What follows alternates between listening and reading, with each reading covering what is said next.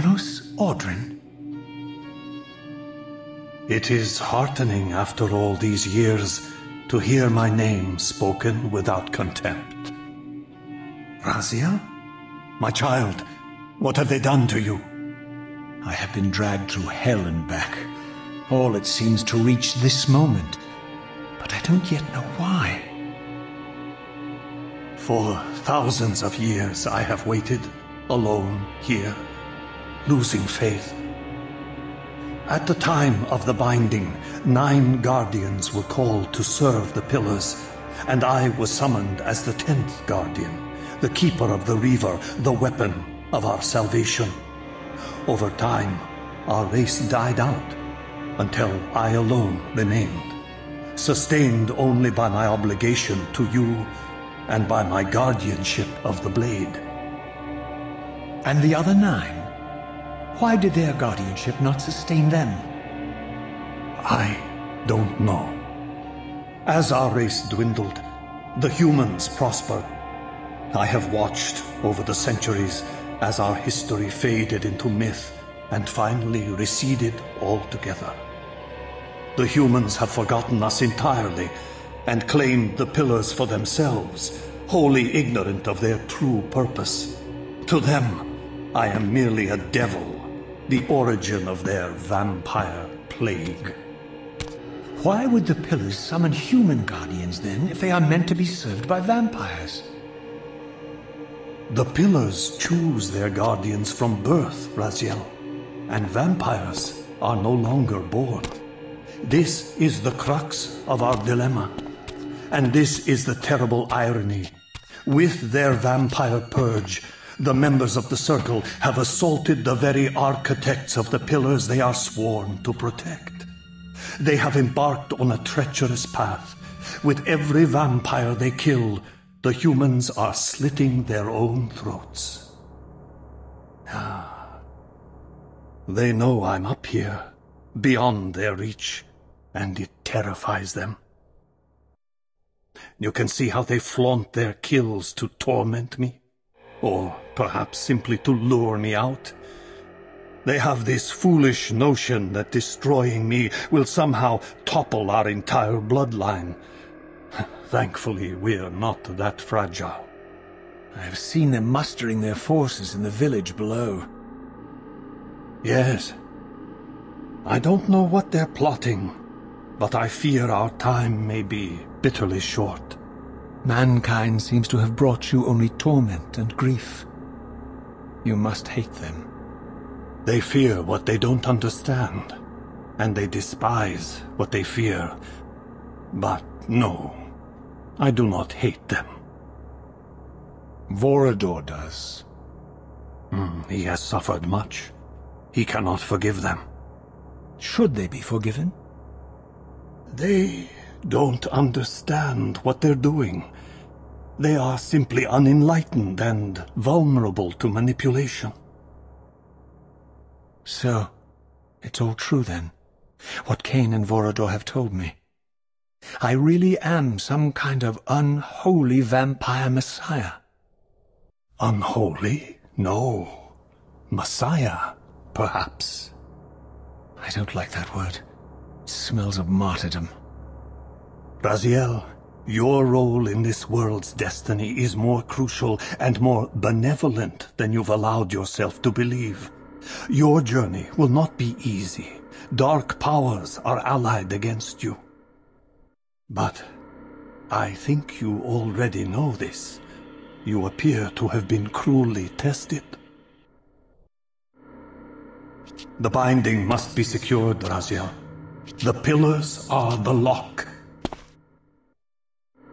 And the Reaver is the key. Yes. The Reaver is here. Why do I feel nothing? The most formidable weapon ever forged by our swordsmiths. They infused the blade with vampiric energy, empowering the Reaver to drain our enemies of their precious lifeblood. As Janos presented the blade, an inexplicable sense of dread crept over me, more palpable than anything I'd felt before. I was at once horribly repelled by the sword, and yet irresistibly compelled to touch it, to take it up. Please, take it away from me.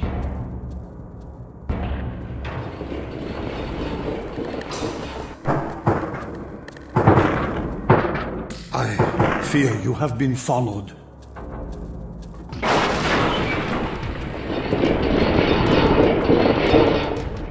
You must save yourself, Raziel. Janos! No!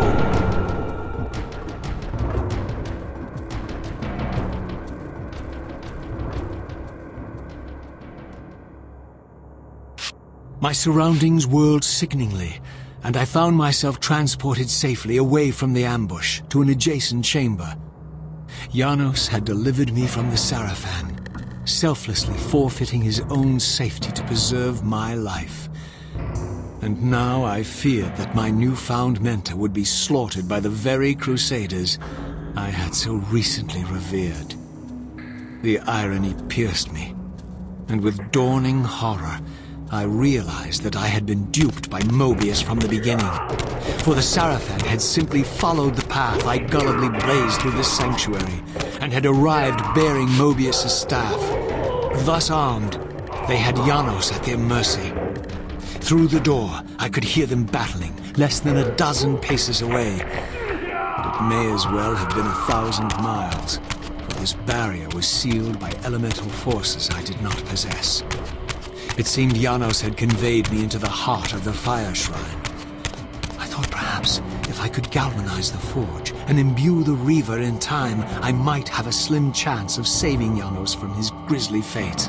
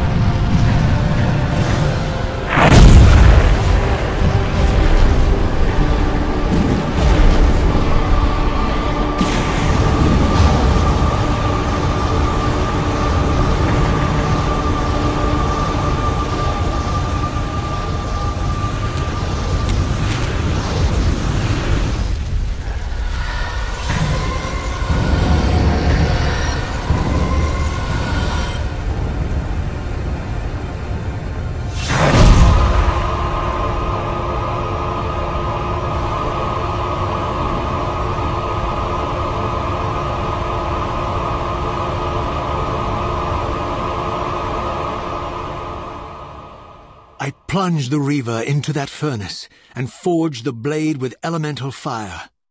With the Reaver thus imbued, I was now armed to unlock the elemental barrier and rescue Janos from his executioners.